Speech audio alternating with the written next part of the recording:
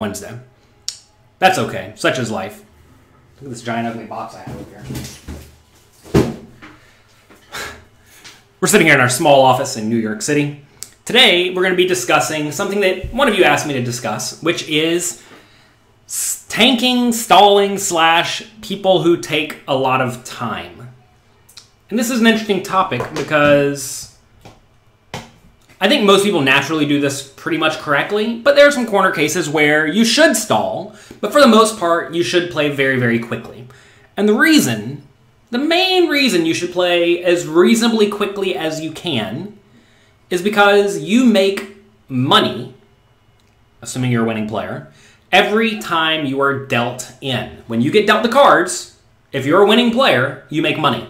Now, sometimes you fold those hands, but on average, you're going to make money and your opponents are going to lose money assuming you're a winning player. Now obviously if, like there's a bunch of winning players at the table and a few really bad players that could be the case. But for you personally if you are a good solid winning player you want to play well you want to be dealt in as many hands as you possibly can. So if let's say jonathan little gets to play 45 hands per hour every single time he plays because he plays quickly in live poker and you because you're slow get to play 30 hands per hour that means i at the end of the day I'm going to make about one and a half times as much money as you make with the exact same win rate per hand. You may say, but won't I make better decisions if I take longer? Maybe you will, maybe you won't. Um, let's imagine you make decisions that are a little bit better. And let's say it wins you an extra, I don't know, two big blinds per hour, which is actually a lot. Say you're going to win extra two big blinds per hour because of your great decisions. If we still have that those time constraints, if I'm making let's say naturally, I don't know, 10 big blinds per 30 hands, and you're making 10 big blinds per 30 hands, plus an extra two because you're making more money because you play better than I do, let's pretend. Well, now you're making 12 big blinds per hour, but I'm getting to play 45 hands per hour, which means I'm making 15 big blinds per hour, right? Obviously, those numbers are rough. Actual results will vary, but it kind of works out to being something like that, where if you play reasonably faster than other comparable players, you're just going to make more money. And at the end of the day, my job is to teach my students to make more money from poker. And for that reason, I want to make sure that you realize that you should be playing quickly in most scenarios. So, we're going to talk about a few things today. Um, first things first, what are people in general thinking about whenever they are taking their time? Most recreational players, as far as I know, maybe some of you can tell me here if you're a recreational player, most recreational players are thinking about things like, oh my god, I don't want to risk my whole stack, or oh my goodness, I am afraid to lose my rent money, or I have to figure out if I think this guy's bluffing. Let me look at him and see if he's bluffing. And then I'll look at the player for a while and see if they're bluffing. Whereas in reality, they're just like guessing. And I don't think that most recreational players are actually thinking about anything that is relevant. No, that sounds a little bit harsh, but I think it's probably true. In reality, what you should be thinking about is you should be trying to figure out how the hand played out, recreate it in your head, and you should be putting both players on a range to see how your hand compares against your opponent's range at this point in time. And quite often, you're going to find that your decision is usually pretty easy, right? And if your decision is pretty easy because either your opponent bluffs way too often or not nearly often enough, you really don't have much to think about. I mean, there are a lot of spots where you have a lot of money at risk, and a lot of people, a lot of recreational players just think forever. But in reality, it's just like a snap call with your, you know, fourth or fifth nut hand, right? So if it's your if you have a fourth or fifth nut hand and you know you're not folding it because your opponent's reasonable, like what are you thinking about? What's the point of taking time? Because you know you're going to call, right? And right there, if you waste an extra two or three minutes, that's just two or three minutes you don't get to dealt in more hands in the future, right? And that that is a problem. If you burn two or three minutes every hour, every time you have a big decision, that's an extra hand that you don't get dealt in. And if you make, let's say, a dollar per hand, that's a dollar per hour you're giving away. $8 per day if you play eight hours a day, 40 hours a week. You know, do some math. $160 a month you're just giving away. Lighting on fire because you want to sit there and try to save face in the cases that you lose. Some people try to take time because it makes their plays look better throughout. Sure. You have so many books. You're just a noob. Where should you start? PokerCoaching.com slash fundamentals. We have a Master of the Fundamentals course. Can you turn that light back on, please? We have a Mastering the Fundamentals course. It's completely free. You don't have to buy anything. Just go to pokercoaching.com slash fundamentals. I do my best to make it easy for people to learn about poker, learn about me, and um, well, that's the goal. You all may not realize this, but I'm in this game long term. My job is to help you get good at your good at poker, not just today and tomorrow, but throughout your entire poker playing career. A lot of poker teachers out there try to sell you one big expensive course and then they forget about you. Sad but true. They are in it for the short run. They're not in it to help you long term. They're in it to give you good information, right? I mean, I don't think they're trying to defraud you or anything, but they are not here to help you long term. And I mean, I've been in the poker coaching industry for, I don't know, what, 15 years at this point. I'm not going anywhere. I'm going to stick around. I'm not retiring age yet, maybe soon. Actually, not soon. Definitely not soon. Maybe in 20 years or something. But we're here for the long term, and that means I need to help people who are novices, right? So we do things like make the fundamentals course. Oh, Julius. Yeah, Mike Sexton left us the other day. You can get his biography at jonathanlittlepoker.com slash Sexton. I'm not on my uh, I'm not on the Sexton level yet, but we'll be there one day. Mike Sexton was my role model. If you have ace, if your opponent has ace king and you have a small pair, is it correct to go all in because you're winning? Well, how do you know your opponent has ace king? They turned it up. They turned it up, yeah. But very rarely do your opponent turn turn their hand face up. The further the hand goes, the more time you should spend to think. You always take extra time when you're on the river. Well, the question is, do you need to take extra time on the river, Tomas, right? Like, say you're on the river with the literal second nuts, you lose to, like, one hand, right? You don't need to think about it, right? You know you have the second nuts, you know you're calling. You may say, but they could have the nuts. Yeah, but that's one hand out of their, you know, however many, it's 50 that they could have that, that you lose to. So sometimes you should take your time calling in scenarios, and you should take more time as the hand gets more complex, right? But that doesn't mean you should sit there and tank just because there's more money at risk. It doesn't make logical sense if you think about it. Blas Zerjav, one of my students, yeah, he's currently the chip leader in the $10,000 buy-in World Poker Tour tournament after day 1A. Yeah, let's go Blas. Blas has been crushing it.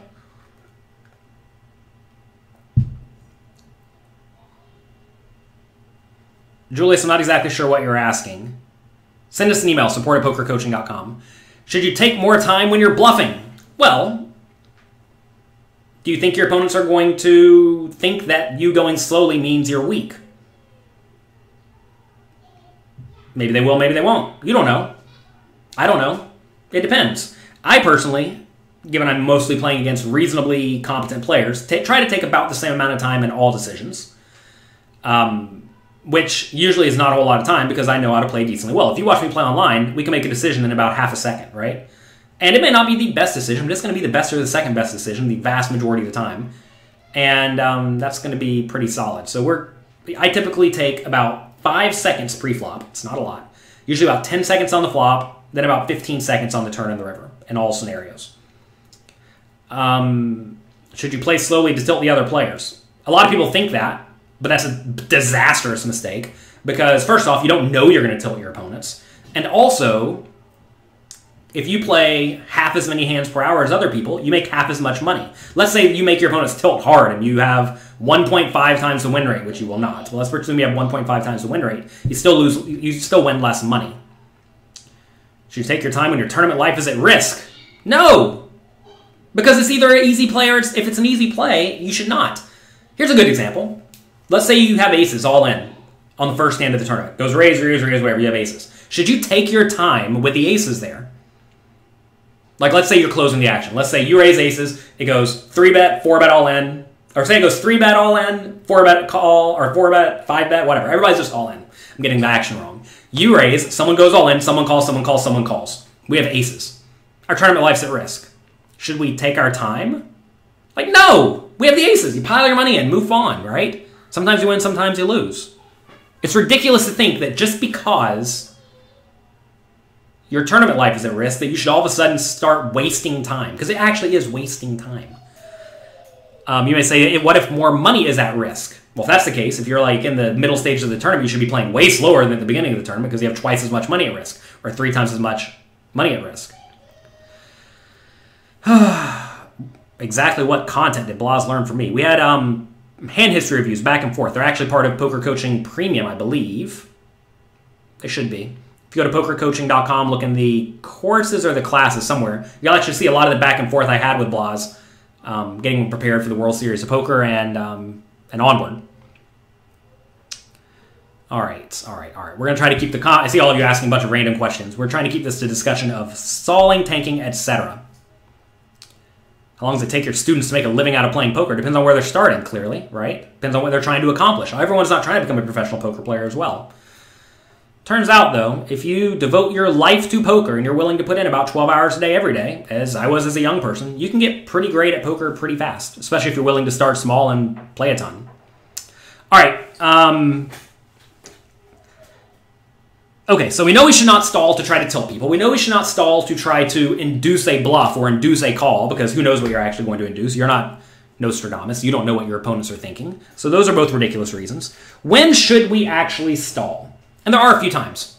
The main, most obvious time is on the payout bubble, when you're not hand for hand yet. Um, a lot of tournaments are getting wise. They're starting to go hand for hand pretty early. But let's say 104 people, or 100, 115 people remain in the, in the tournament, and 100 people get paid. So we have to lose 15% of the field. And let's presume we are, I don't know, like in 90th place out of 115. So if we play any hand, we're going to be at risk and we don't want to be at risk. But we know if we just sit here and blind out or don't play very many hands, we are pretty likely to get in the money. Like, really likely to get in the money. So now, should we stall? And the answer is probably yes. The question is, how soon should you begin stalling? And I think, he, I don't know if there's like an exact formula for this, but let's say you are down, let's say you need to lose like another 15 ish percent of the field. It's probably okay to consider stalling at that point. Um, but you don't want to start stalling very early because then you just really crush your chances of actually winning the tournament. There's some point where your equity in just getting a min cash is substantial. That's usually when you are near the bottom of the chip stacks and you are also still kind of likely to get a cash. Now, let's say you're in 112th place out of 115 people with um, six big blinds, or seven big blinds, or 10 big blinds and 100 get paid, and 115 remain. At that point, you probably just need to be playing and trying to get a double up. Very rarely do you want to stall really hard when you are very likely to be someone who's going to bust just based on like blinding out, right? If blinding out will result in you not getting in the money, you definitely don't want to be stalling. You want to be trying to get a hold of some chips. Um, so you should typically be stalling when you're a medium stack that is likely going to be at risk if it does have to play a pot, but you're also very likely to be able to just collect a cash. At that point, you'd rather the tournament just stop. The people lower chips than you go broke, and you get in the money, right? And the way you essentially make the tournament stop is by playing very, very slowly. Um, in online tournaments, you can take your whole 30 seconds or 15 seconds, whatever they give you pre-flop, and then, if necessary, burn some of your time time bank. Um, I would not burn a ton of time bank on the bubble, though. There'd probably be better spots for this, for burning your time bank, but there certainly are scenarios where that does make sense. So be aware of that. Um, the next most obvious spot is when you're going to be at risk on a payout jump. This could be any payout jump. Let's say, I don't know, 90th place gets $100 and 89th place gets $120. That's the cash, right? If that's the case, when you are down to 90 people, if you're going to be all in, you want to make that hand take as absolutely long as possible. So how do we make this hand take as long as possible? And the, way, the reason I say you want to take as long as possible is because if someone at another table goes broke while you're in the middle of this hand, you get 89th place and you get an extra $20. And you'd rather get an extra $20 than not, right? So let's say we're playing a hand. We raise. Let, us take a simple scenario. Let's say someone raises. We have 20 big blinds. And we know we're going to go all in with our ace king offsuit. Okay? What should we do? Someone raises. We have ace king offsuit. We know we're going to play the hand. It's an easy all in. Should we go all in? Take a second. Think about it. We want this hand to take as long as possible. What do we do? Well, we take as long as we can pre-flop, make him call the clock on you. Annoying, I know. Um, this is if we only care about making money and we don't care about making friends.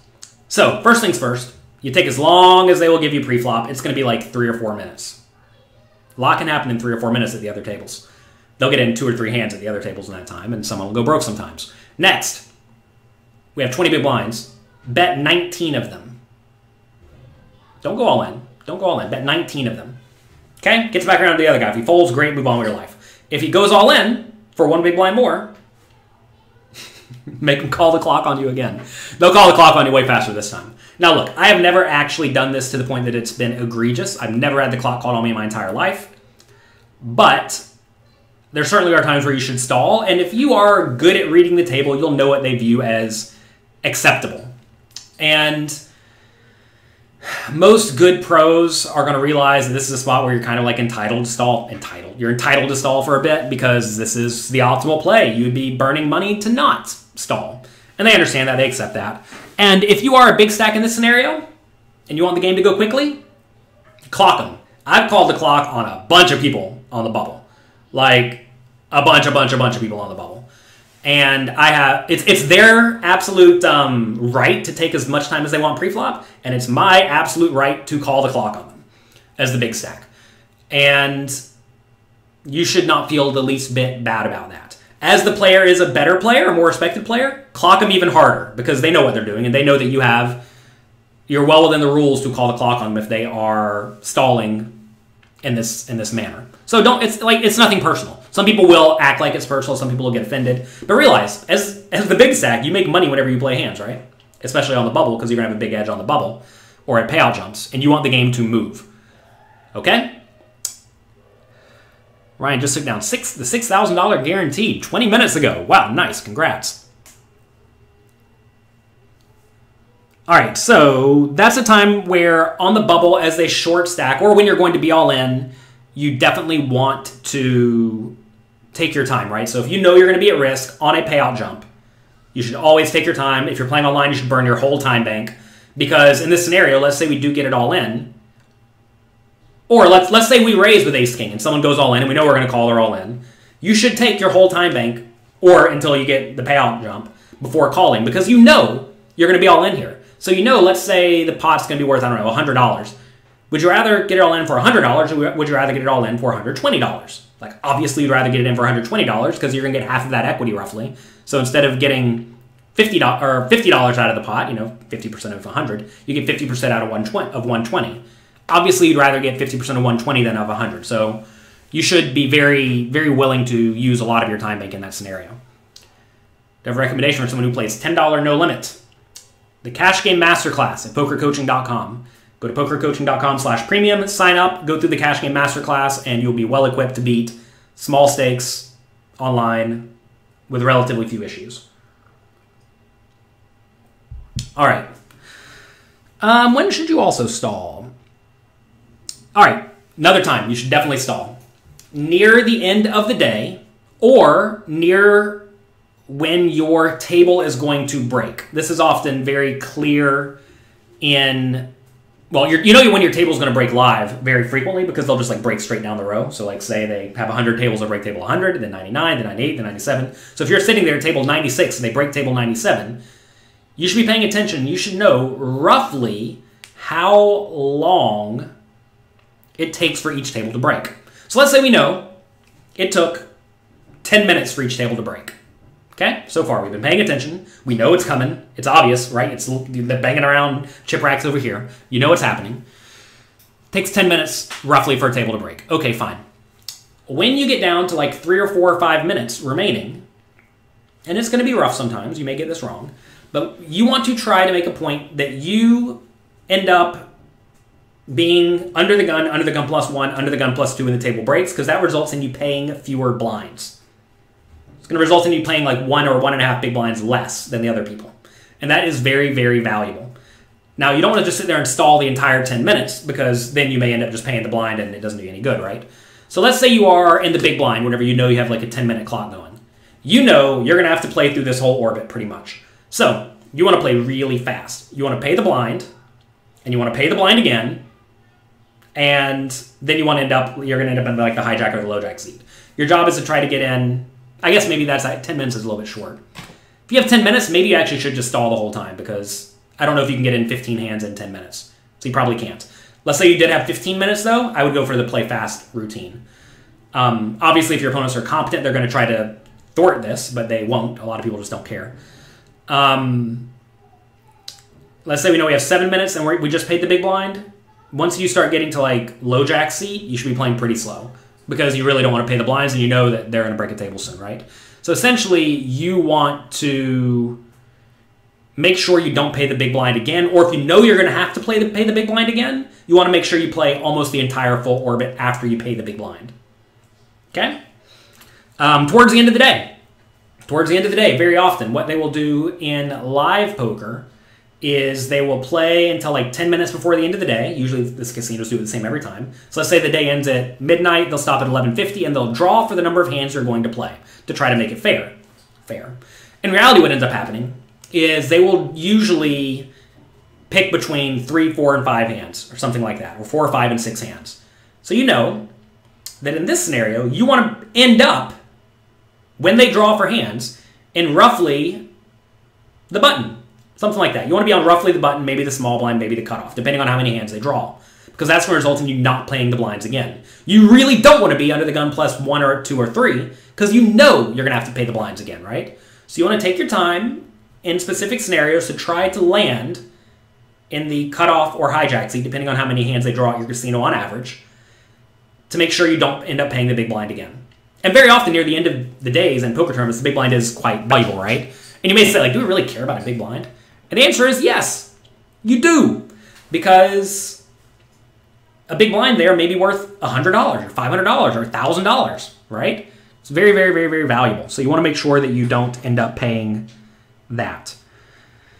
Um, so those are really the main times you should go slowly. You'll see that it doesn't happen all that often. So the main times you should even consider stalling are on the bubble, when there's a payout jump, and when your table's going to break. Oh, online. Online, online. Online, what a lot of places do is they'll just say the day ends at midnight, and the tournament will literally stop at midnight. There's no five hand random draw type thing. It is purely midnight, we're done. I know I was playing a tournament the other day, it ended at midnight, and um, I, I timed it great and didn't pay the blinds, right? And like at that point, I think the big blind was, I did the math, the big blind was worth something like 500 bucks. So by stalling appropriately, I did not pay $500. Could you imagine how valuable that is? It's just like I literally made $500 because I'm aware of this concept. And this happens frequently. So this is a situation where um, you want to pay attention. If they end straight at midnight, you sure better end up under the gun, under the gun plus one, or under the gun plus two at midnight. Otherwise, you screwed up. And like I said, if your opponents are good and competent, they're going to figure this out and not let you because they're just going to stall hard too. They'll be willing to burn their time banks as well. Um,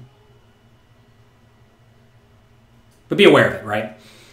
If you use your time bank a lot, isn't there a risk that people will be annoyed and try to bust you? Well, Harmony, let's presume your opponents are going to all of a sudden start playing really poorly against you.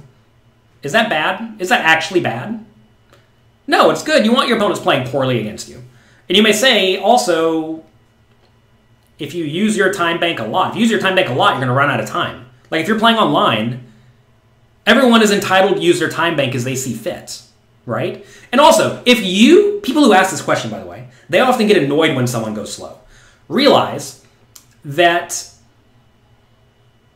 if you're getting annoyed because someone is using their time bank within the rules of the game, think about how asinine that thought process is. Someone's playing by the rules. I'm mad. That's what you're saying. They're playing by the rules, but you don't like their rules. You don't like the rules of the game that you signed up for. So understand that. Please understand that if someone is playing within the rules, you should not be mad at them. You should be mad at the rules. Right? Which is why, like I said earlier, when I'm the big stack on the bubble, I'm clocking people left and right. In live poker.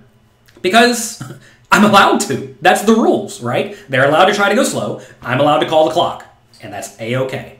And if you are, I don't know, not aware of the rules, if you're not willing to play within the rules, I mean, then that, that's your problem, right?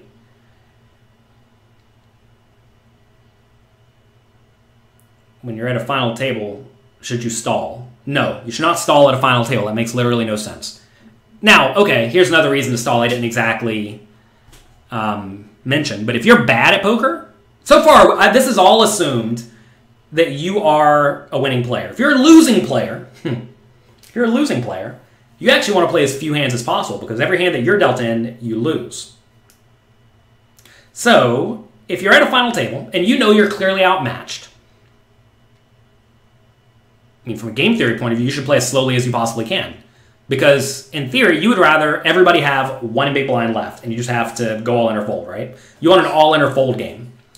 And how do you do that? How do you accomplish that? Well, you take forever. You go as slowly as you possibly can and you let the blinds get gigantic.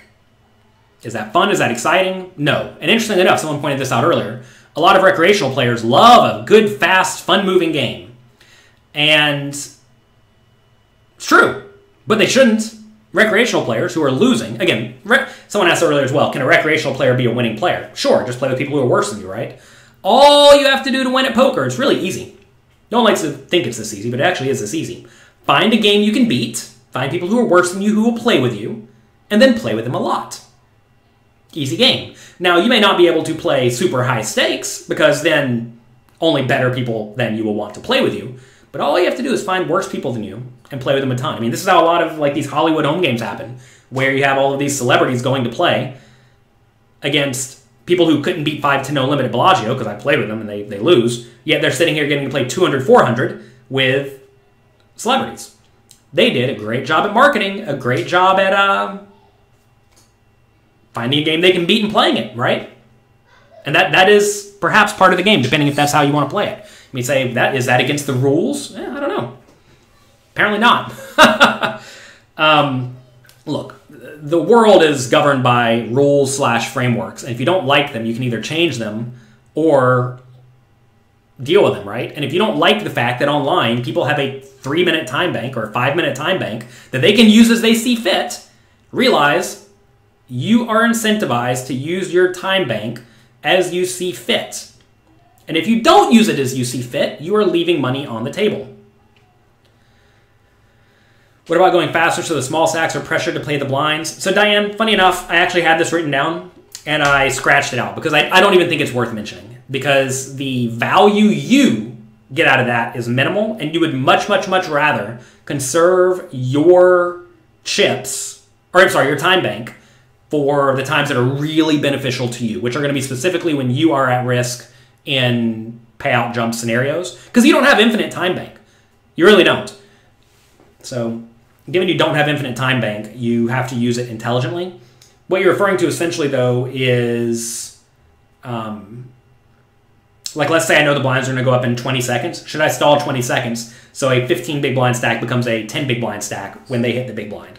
And like you can, yeah, it sucks for them, but realize it also sucks for you because it's not like like you want to play as deep stacked as you can within reason. How do players get others to buy stacks, buy stakes in them? You have to prove that you are a profitable player. People aren't just going to buy action in people. Also, you should not strive to have people buy action in you, by the way.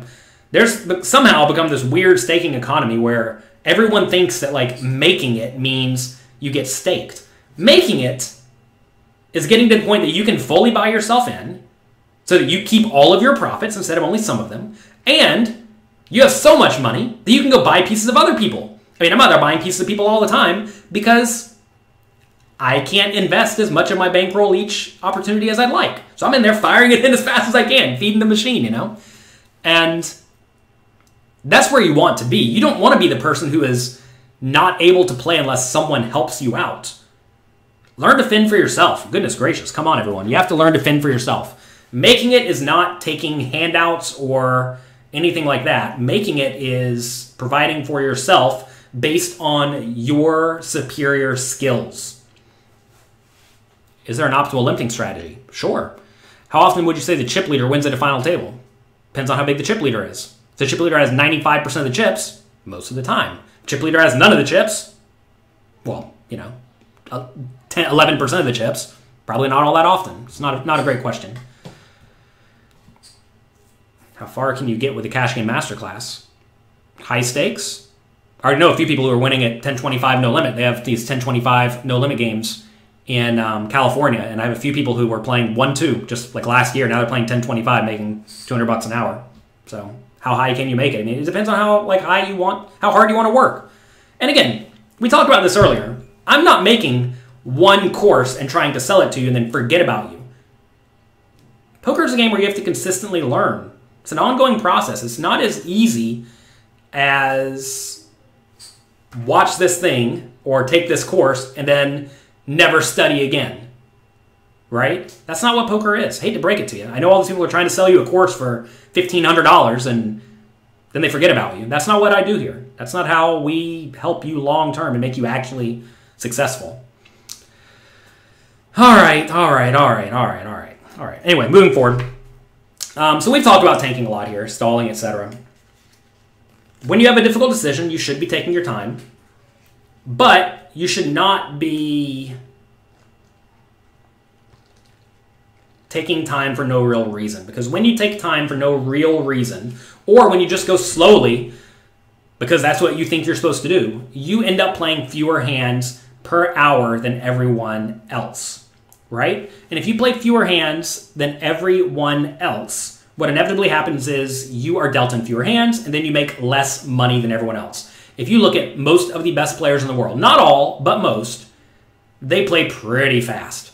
Like faster than you would think. And that's because they realize there's no point in wasting time. Pre-flop, right? Whenever it's your turn, pre-flop, if you know you're folding, there is no point in taking time. Now, let's go back to another reason you may want to take a second. Let's say pre-flop, it gets to you, you're in the cutoff, you have the 7-3 suited, you know you're going to fold. If you look at your cards and you act like you're going to play, if you're against very bad players, like who are oblivious, very often, if you look to the left, you'll see the player in the small blind or the player in the big blind look at their cards and they'll be like, oh, okay, my hand's not good, I'm going to fold. And they'll tell you they're going to fold while it's still your turn in the cutoff. So now, if you can look and tell the button's going to fold and the small blind's going to fold, now it's as if you and the cutoff are now on the button against one big blind with a dead small blind in the pot. Now that 7 3 suited becomes reasonable, right? But that's only going to be the case against like really oblivious players and there still are some oblivious players out there especially in you know, small stakes live games online this concept is completely ridiculous because you can't look to the left in online poker and see what they're going to do but that's another case where taking a little bit of time is relevant i remember talking to one player once where he said on the river he will just basically always take as long as he can because eventually his opponents will crack if he stares at him long enough maybe true maybe not um, I, I don't I think it certainly could be true. So I don't know. It's tough to say. It's tough to say if that's true. I have not really experimented with taking 10 minutes on every river because um guess I'm not that good at reading people to the point that I can look and tell definitively if they have it or not. But I mean, I guess if you somehow correlated that, that's fine. But uh, who knows? why would a player that is not a pro play themselves instead of just buying pieces of people who are a real pro? Because when you buy people pieces of people who are real pro, you have to pay markup, and markup takes away all your profits.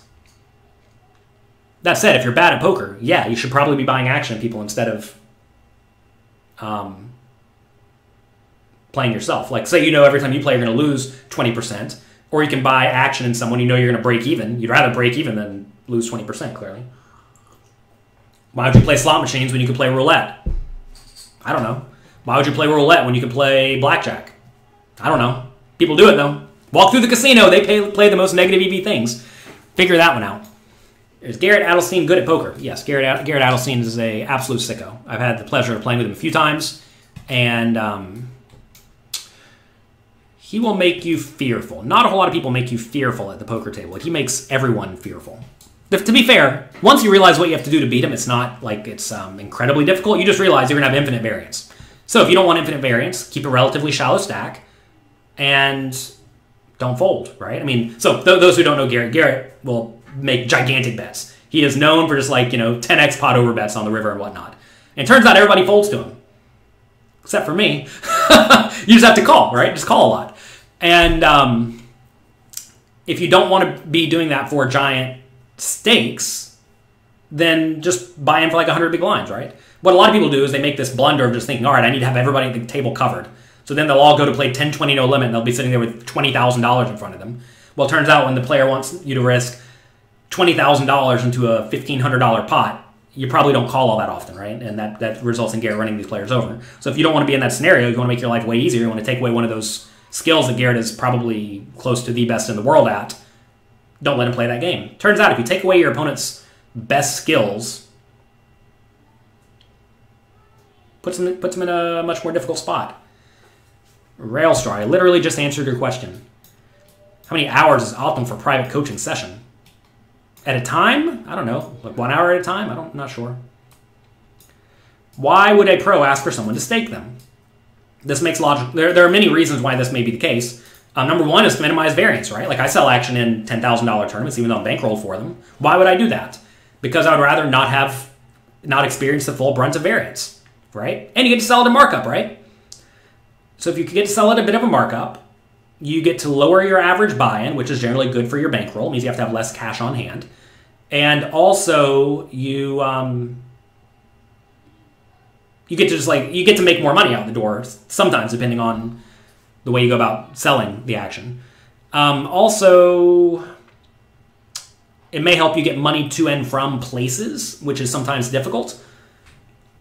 I mean, there are reasons to sell action, but the main time is when you're playing at the upper end of your average buy-in. Like if I'm playing 25ks, I'll usually sell action because I'm not bankrolled for 25ks. I don't have seven and a half million dollars in the bank yet. Maybe one day, but not yet. And therefore, I need to sell action if I want to play those. But I'm still probably profitable in them, right? But for the most part, if you're playing small and medium stakes games, you don't need to sell action because you can just move up to the higher stake, right? And if you are profitable in a higher stake, but you have plenty of time to play in the lower stake, like plenty of action, plenty of opportunities, you don't need to play the higher stakes games, right? When you're playing the very higher, very high stakes games, there aren't there's not enough volume to go around. That's a big problem. So in order to get volume, you either need to sell action or bigger in bigger tournaments, or not play, right? Because like let's say you go to a tournament series and they have one 5K main event and a 10K side event and a 25K side event and then a bunch of thousand dollar tournaments. The thousand dollar tournaments may not be worth your time because you're bankroll for 10Ks and um, you just don't have many other opportunities to get in volume. So you want to figure out ways to get in volume. There are certainly times for that, though. all right, all right, all right, all right, all right. You're running at 5 EV blind per 100 over 50k hands, but still showing a loss. Could you explain why this is? You may be bad with shallow stacks. You may be uh, playing a big spread of tournaments where you're losing hard in the high stakes and crushing the low stakes. You may just be experiencing variance because 50k hands isn't all that much. Um, in general, if you're you have like between six and eight EV big blind per hundred, you're probably playing in the right games. I don't know what spread you're playing, Adam, but say you're playing ten dollar tournaments up to fifty dollar tournaments. Cut out the fifty dollar tournaments. Play like ten to thirty, and you're going to see that EV big blind per hundred increase certainly. Has James or Thomas appeared? Not today. Thomas is sleeping today. Thomas woke up at 4 a.m. today, which is not ideal. Are there players I don't like to play against? There are certainly people who are not fun to play with. Can you please enter Survivor? I have applied for Survivor. I think I have as about as an unfair advantage as I could possibly ask for with uh, two previous champions vouching for me, talking to the uh, producers. But um, that still may not be enough.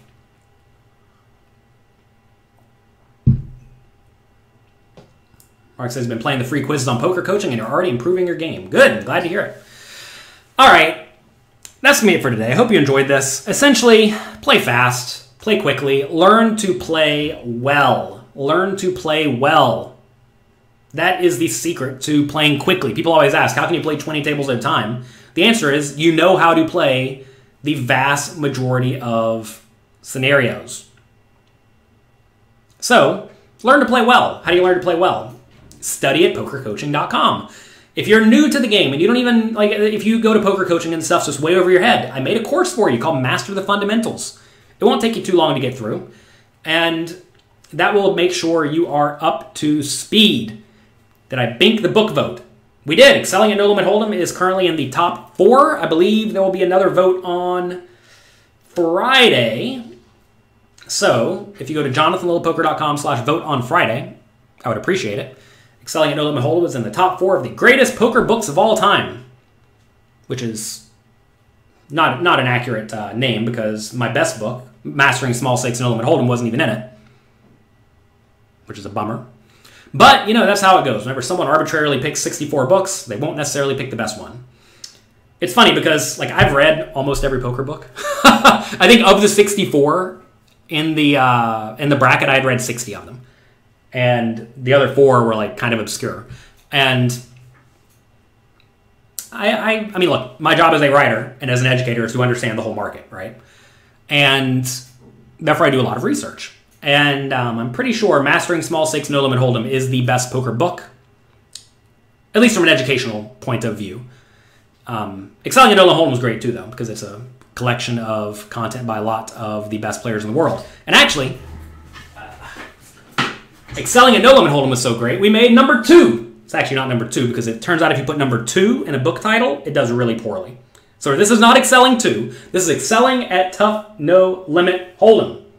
I got many of the absolute best poker players in the world to make content for. Me. We have Draft Ganger, Bert Stevens, the Crusher. He was number one in the world at one point online just a year or two ago before he decided to chill and love life a little bit more. Um, he's a poker coaching coach now. He's been streaming for us. Check out his content. It's available free. It's available as part of poker coaching. Um, also, we have Apestyles, John Van Fleet. I love his content. I hope we get to work with him more in the future. He uh, he's been absolutely crushing it. We have Rob Tinnion. He's won the Sunday Million twice. We have Vlada. I don't know how to say his last name. Stojanovic. Vlada Stojanovic. He won the $10,000 buy-in Poker Stars uh, Stadium Series last month for about a million and a half dollars. So good job to him. Anyway, lots and lots of good content here. This is a good book. This, this might be Jonathan Little's favorite poker book for Jonathan Little for high-level poker players. This is probably not for this is not for beginners. I can I can go ahead and tell you this is not for beginners. This is for poker players who are already pretty good, who know what they're doing, who want to learn from the absolute best players in the world. So anyway, this just came out the other day. You can, um, where can you get this? I don't even know. I don't have a link yet. Go to dnbpoker.com, D-A-N-D-B-poker.com, and it should be available for you there. I think it's the only place you can get it right now. Although, ebook will be available soon. What's the link to vote again?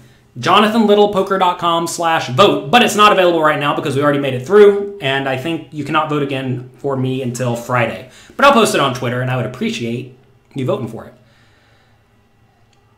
You just started Modern Poker Theory and you're a bit lost. Modern Poker Theory is a hard book. It's a, it's it's another very tough book. That actually would have been my vote for the best book for Jonathan Little pre this book. Funny enough, my job now at DNB Poker, in addition to writing books, is to cultivate content. So what's the poker world missing? Well, before Modern Poker Theory in this book, it was missing really high level content. And these are these are really high level books. I mean, look, it's just like full of full of pio charts and whatnot, right? Yeah, yeah. There's a chapter here by uh, by Vlada on ICM. Like I thought I kind of understood ICM. I figured I was pretty good at it. Turns out, Vlada's a master at ICM. I learned a lot from that chapter. So anyway, that's me for today. Um, enjoy yourselves. Make the most of it. Don't stall. Go quick. The more hands you play, the more money you make. Turns out, that's all you have to do. Find people you can play against and play against them a lot. And it turns out if you play one and a half times as much as your opponents, you'll make more money, one and a half times as much. If you want that book, Mastering Small Stakes No Limit Hold'em, go to jonathanlittlepoker.com slash mastering, and you can, that's a link to it. Give us some ICM secrets. As the big stack, you get to bluff a lot post-flop. I was kind of unaware of it. Um, there's an example where let's say medium stack raises, you're on the big blind and you call. Anytime the flop comes low cards, like low connected cards that are good for your range, very often you should be betting small on the flop, blasting turn, jamming river for like 40 big blind stacks, which is kind of crazy if you think about it. When the board comes like 7 6 3, right? Where you have a lot of nut hands and the other player doesn't. On the bubble, if there's shallow stack, or on the uh, at the final table when there's shallow stacks around, you should just be blasting the middle stacks because every hand in their range is a bluff catcher, and you can't call off with bluff catchers when there are a bunch of shallow stacks around due to the immense risk premium. Like you can tell your opponent, you can say, "Hello, you have the best hand 65% of the time," and if they understand ICM, they can't call, which is sick. so anyway, excelling at tough no limit hold'em games, fun spot. He goes through and shows a, a lot of spots with uh, Monker Solver discussing how ICM applies, and it's it's good. It's good stuff. Lots of good stuff.